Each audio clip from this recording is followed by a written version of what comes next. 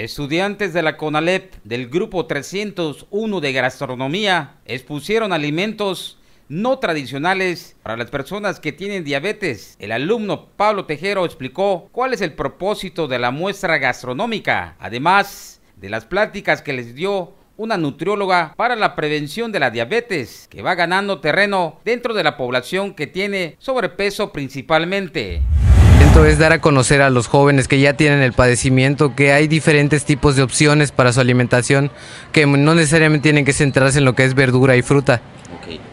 ¿Hay otros tipos de alimentos como cuáles? Eh, se pueden considerar como lo son los quesos crema bajos en grasa, las leches bajas en grasa o light. Eh, muchas veces también se cree que el queso no se puede consumir, pero sí se puede en menor cantidad. Eh, aquí presente tenemos galletas saladas, queso crema, tenemos verduras como lo son la calabacita, eh, tenemos eh, recetas más elaboradas como lo son hot cakes o croquetas de atún rellenos de queso crema. Esto es parte de la especialidad de la carrera en que están. Sí, esto es parte de la especialidad de la carrera que llevamos aquí en el plantel con Alep.